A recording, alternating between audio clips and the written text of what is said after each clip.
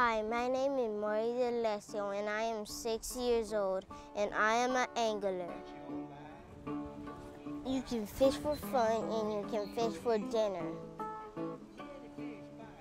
My, my favorite fish to eat is largemouth bass.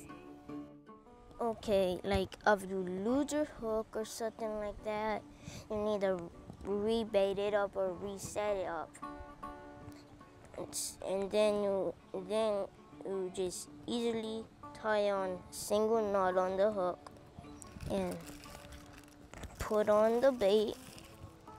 You have to put on your bait because of, of you of, of you of you like don't have bait, how can you fish?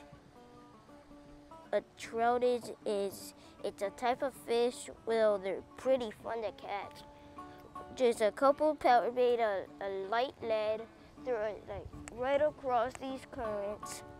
You'll you'll unfortunately get one because they like they love it lo they love it the the hide in the currents.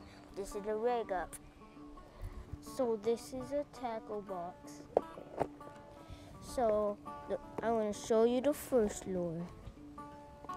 The first lure is is one of these lures. It's a it's it's a it's a non-barbless hook, and it's a and it's not a real fish. It's a fake fish made of rubber, and and and and and and it's a non-barbless hook. It comes right in, comes right out. I like to play on my nook and go to church and go swimming.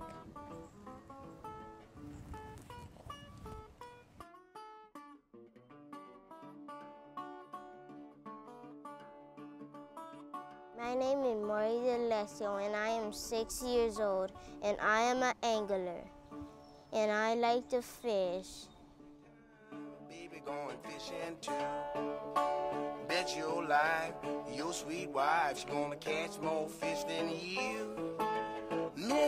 Bites if you got good bait. Oh, here's a little tip that I would like to relate. Many fish bites if you got good bait. I'm a going fishing, mama's going fishing, and the baby going fishing too.